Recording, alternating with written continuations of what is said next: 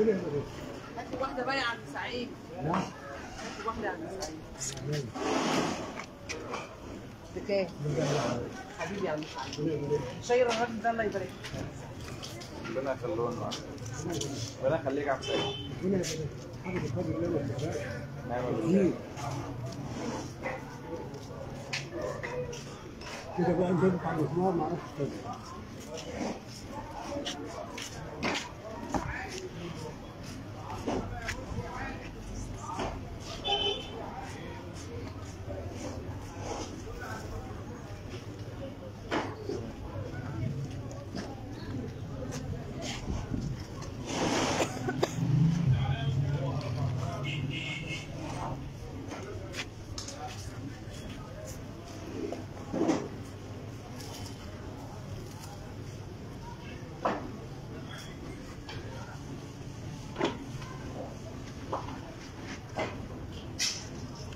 أهلا وسهلا بكم أعزائي متابعي ومشاهدي أبو كبير ميديا في كل مكان. معاكم النهارده في live جديد ومميز جدا. إحنا النهارده موجودين في مدينة بنها مع عمو سعيد.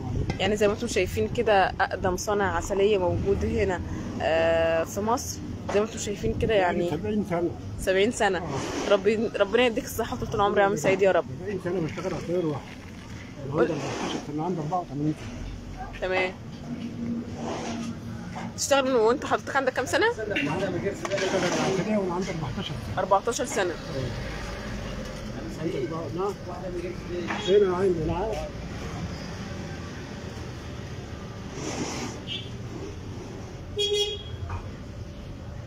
احكي لنا بقى يا عمو سعيد آه، العسلية دي بتعملها إزاي ولا آه، عرفت الصنعة دي إزاي؟ عرفت الطلعه دي من ابويا الله يرحمه الله يرحمه ما علمتهاش عند حد آه يعني ما علمتهاش غير شغل وشقه وبعدين غيري لو عملوها هيغشوها أنا ما في ضميري ابدا.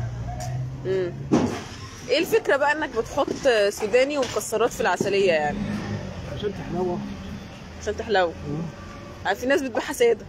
نعم. في ناس بتبيعها سادة. ما من- في عامل شوية كده للاخر آه، على حسب الطلب على يعني حسب الطلب. بس أنا بعملها كلها بالذات آه. شغال فيها وكان الكيلو السوداني ب 3 جنيه. النهارده الكيلو السوداني جملة ب 140 جنيه. ولسه شغال بالسوداني. شغال بيها وانتهت هشتغل برضه. ده بقى عشان إيه؟ تتمشف اتحكم فيها بقى.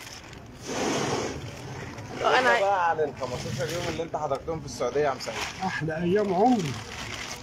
في الجنه في الجنه غرفة دي لوحدي. من رجال الأعمال. وربنا يبارك.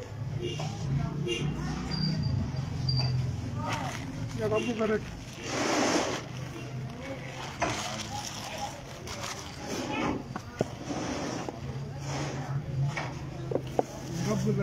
لنا بقى لما كنت في العمرة عملت إيه والدنيا كانت ماشية إزاي معاك هناك لا أنا ما أعرفش لأن شفته الأيام اللي قعدتها في السعودية كانها جنة آه. غرفة ليها لوحدي. وربنا يزيده. ربنا يزيده اداني مبلغ أحلم بيه عمري مم. هناك ومندوب أنبياء من مكة لحد المدينة. يسلمني المندوب تاني. أنبياء من المدينة سلمني في مصر آه. صلى على النبي أيام. يا رب تاني. يا رب. ربنا يكتبها لك تاني يا رب. يا رب مش معقول دي انت يا عمو سعيد قلبك طيب وإن شاء الله. ربنا. هيكتبها لك تاني بإذن الله. مش معقول لا لا ربنا يكتبها لك تاني إن شاء الله. نلت اللي أنا طلبت من عند ربنا كده بقى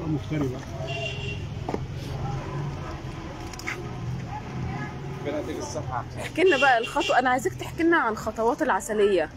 بتعملها إزاي؟ قلت بعملها إزاي دي؟ بحط عسل وبحط سكر. آه. بسويها على النار. تمام. له سوا في دماغي. السوا طريقتك انت بقى. دماغي تبع الجو. امم يعني سواها تبع الجو. في دماغي. خليك بالك انت الجو برد بنزلها طرية الجو سخن بنزلها ناشفة.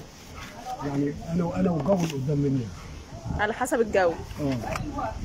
جو بارد بنزلها نيه جو سخن بنزلها ناشفة. واقطعها بس يعني مش مش أي واحد يعملها. طب آه، آه، أنا أنت مش شايف يعني إن طريقة عمل العسليه يدوي بإيدك كده متعبة بالنسبة لك؟ آه. طيب ما ليه ما استخدمتش مثلا أدوات أو آلة معينة إنك ممكن مثلا تشتغل بيها؟ يعني ما عندكش. عايش فلوس. طب ما اخترعتش أي حاجة؟ لا. رحت العسلية دي ورثها عن أبويا يعني الحمد لله وربنا يرحمه. يا رب ربنا يرحمه يا رب. ويديك الصحة يا عم سعيد كده وإن شاء الله ربنا يكتب لك العمرة تاني وتروح. حج بقى. الحج بقى. آه. يا رب. عايزاك تحكي لي كده حسيت بإيه أول ما رحت السعودية؟ ما كنتش مصدق. إيه؟ ما كنتش مصدق. كنت مصدق. لا. كنت طاير من الفرحة. برضه مش مصدق. إن أنا عندي في الحته دي مش مصدق. لا واحد قابلني.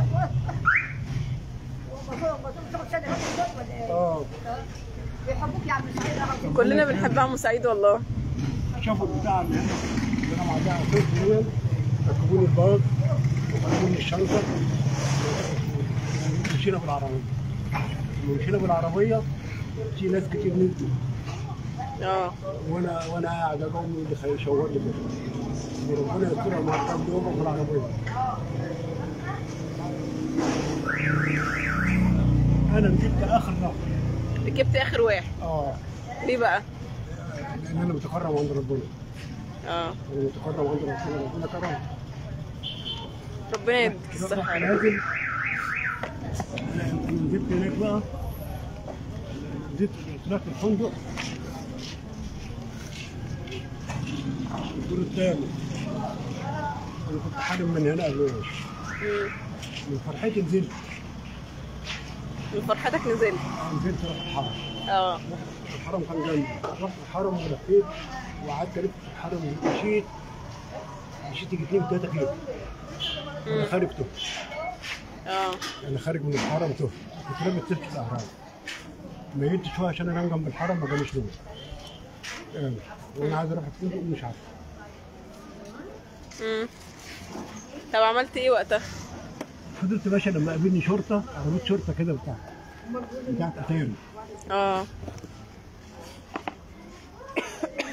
بوري له الصورة قال لي امرني قلت له أمر بلا واحد بوري له الصورة اللي برسلني راح مركبني العربيه معاه وداني الفندق نزلت الفندق. أدور على المفتاح اللي هو الكارت دي وقع مني رحت نازل تاني. بقول لها يا بنتي ال- الكارت بتاع قلت ما يهمكش. راحت أربع كمبيوتر وطلعت معايا كارت تاني. قلت له أنا معايا واحد سلمني الغرفه الوحديه بقول له يا ابني النور ما بيقتش ليه؟ قال لي يا حبيبي إيه؟ قلت له طب وريهولي كده ما أعرفش. خد الكارتة حطها في العلبة كده. النور قاد وال condition اشتغل حاجة حاجة فوق راسي قلت له ربنا يبارك. برضه من فرحتي ما نمتش. نزلت تاني. جيت واحدة زي حضرتك كده هناك. أنا ماشي مش مش مصدق إن أنا جيت هنا. أنا مش مصدق. لقيت واحدة قالت لي يا حاج ولا أنا عم الحرم قدامك. قلت لها ماشي يا بنت. وقفت ورايا ما لقيتهاش. قعدت بقى أنا بصراحه قعدت ألف في الحرم. لما رحت عند الر- الرضا الشريف. وأنا ما أعرفش.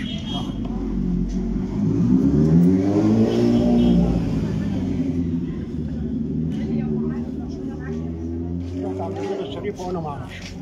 قعدت ألف في الرضا الشريف واقعد وأنام وأشرب وأشرب مية من هناك. وقاعد وأنا في الرضا الشريف وأنا ما أعرفش. التليفون رن عليا. التليفون رن عليا. المندوب قال لي إيه؟ عندك زياره عم سعيد تعال.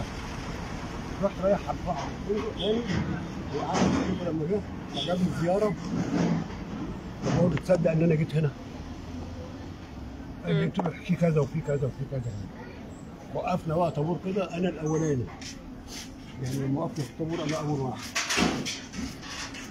السعودي بيقول له مين مين هذا؟ قال له ده القائد بتاعه دخلنا الروضة الشريفة وقعدنا نتفتح هناك ولفينا لما لما دخل ورجعت رحت الح... رحت الغرفة. نزلت تاني. أنا نزلت تاني. آه، لقيت الباب اللي هو بتاع الحرم حفظت رقم كان مكتوب بالإنجليزي.